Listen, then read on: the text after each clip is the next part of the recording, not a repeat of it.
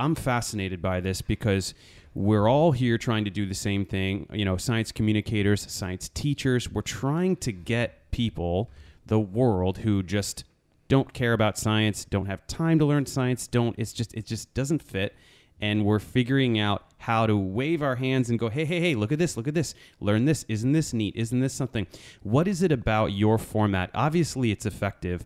So, just the way that you're presenting information, what is it there? Have you gotten feedback that can give us some clarity about why is this work so well? Okay, so because of my background in graphic design, um, I approach every single topic as first I need to research and then organize a dense amount of information. So first I organize it in a way where um, it's fun and you can understand it at a glance. And um, so in my book, Women in Science, I profile 50 women from ancient times to modern day. And in my newest science book called The Wondrous Workings of Planet Earth, I profile different important ecosystems all over the world. And I talk about their greatest benefits and their greatest threat that they face. So in both of these books, I'm I'm tackling a huge subject. Mm-hmm. Yeah, definitely. Yeah, and the first thing I do is that I break it down into how can I construct a book that makes sense to an audience who has never heard this subject before. Right. And how can I make it as illustrative as possible so that even the most reluctant reader gets excited by the illustrations and feels confidence approaching these dense subjects because, you know, you put a little happy face on a cell or Right. happy face on Marie Curie and all of a sudden it's this friendly image Yeah. that can allow them to learn even more. Some someone who who would open up a textbook and just start to cry and go into fetal into the fetal position. This is something where you open it up, no matter what page you open it to, you go, oh wait, what is this? Hold on, this is cool. I want to. What is this all about? The illustrations invite the reader in so that they understand what they're going to learn before they even start reading.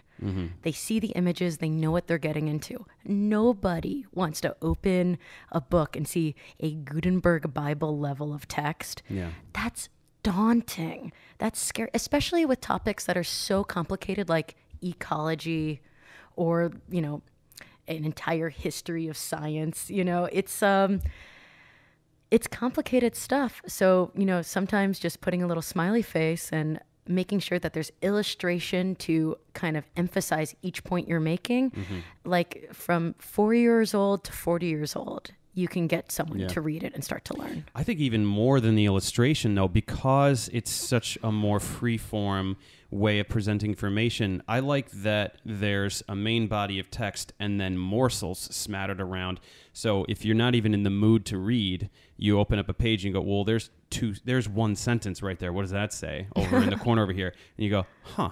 All right. Well, what does this one say? And then before you know it, you've read six of them, and then now you- you're you're learning. It tricked you into learning. Yeah, almost, I'm all know? about tricking people into learning. and it's really interesting that you say that because in every single one of my books, I make sure to like pack as many little illustrations with tiny sentences of fun facts next to it, along with a larger body of text. But it's those fun facts. It, it makes it so that even someone who's like an early reader can just tackle those little sentences, those short little brief things, and then maybe the parent reads the, the whole body of text with them. Right. And then I get a lot of um, emails telling me that they whatever book it is even my ecology book the the wondrous workings of planet earth book um, they'll open it up and just do a page a night and so like maybe they'll learn about like the the sahara desert that night and then mm-hmm. read all the little fun facts read the little bio Look about at every little picture and Yeah. get every little morsel on there. yeah, get every little morsel and then start having conversations and looking things up even further on their phone. Yeah. And it creates this whole like experience between kid and parent. And then also,